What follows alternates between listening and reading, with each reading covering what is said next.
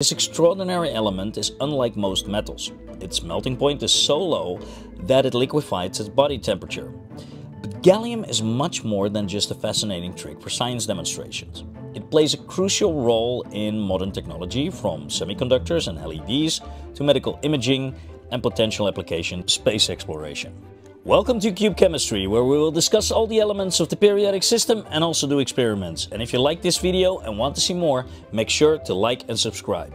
Also, if you want to influence the element of next week, make sure to fill in the poll. It's really tight, so your vote can really make a difference.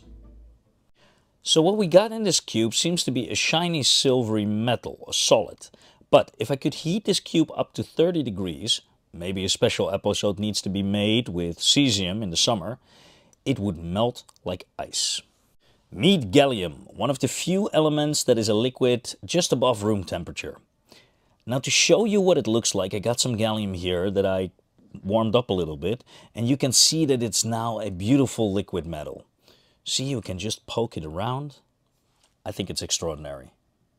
Now again, as always, if you want some of this strange metal yourself to play with, you can click on the link in the description and make sure to fill in the promo code so you can get a 10% discount. And you will also be helping out our channel.